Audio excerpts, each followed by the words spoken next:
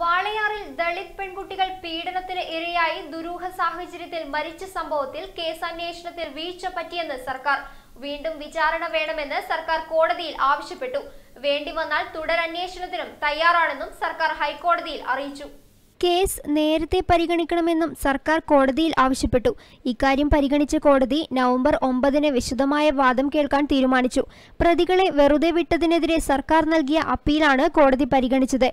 രണ്ടായിരത്തി പതിനേഴ് ജനുവരി പതിമൂന്നിനാണ് അട്ടപ്പള്ളത്ത് പതിമൂന്ന് വയസ്സുകാരിയെയും പിന്നീട് രണ്ട് മാസത്തിനു ശേഷം മാർച്ച് നാലിന് സഹോദരിയായ ഒൻപത് വയസ്സുകാരിയെയും വീടിനകത്ത് തൂങ്ങി മരിച്ച നിലയിൽ കണ്ടത്. രണ്ടു പെൺകുട്ടികളും പീഡനത്തിനിരയായതായി പോസ്റ്റ്മോർട്ടം റിപ്പോർട്ടിൽ കണ്ടെത്തിയിരുന്നു. എന്നാൽ പെൺകുട്ടികൾ ആത്മഹത്യ ചെയ്തതെന്നായിരുന്നു പോലീസിന്റെ കണ്ടെത്തൽ.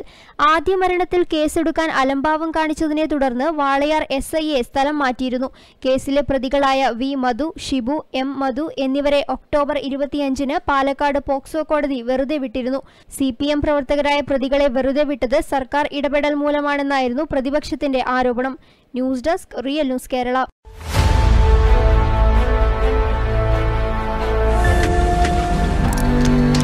ലോകമലയാളികൾക്കായി.